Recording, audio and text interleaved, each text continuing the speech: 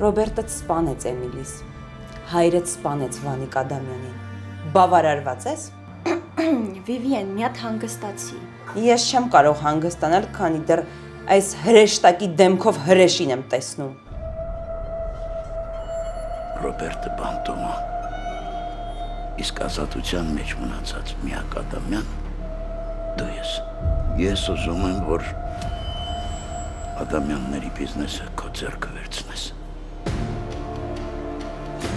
Ձեր ամուսնու դստեր հերրախոսազանգերը մեզ մոտ գրանցվել են։ Եվ դուք խոսել եք ձեր ամուսնու հետ նրա հերրախոսով։ Պայմանագրերը կսպասեն ոչինչ։ Իսկ ինչ վերաբերվում է Ադամյաններին,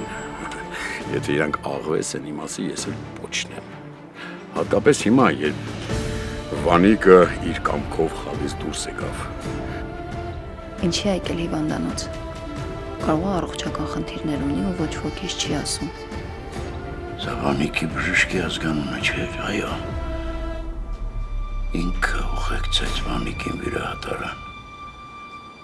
Բայց ինչու են այդ բժշկին 8 միլիոն փոխանցել։ Լավ, ես տենց էլ գիտեի, որ դու չես ընդունելու այդ առաջարկը։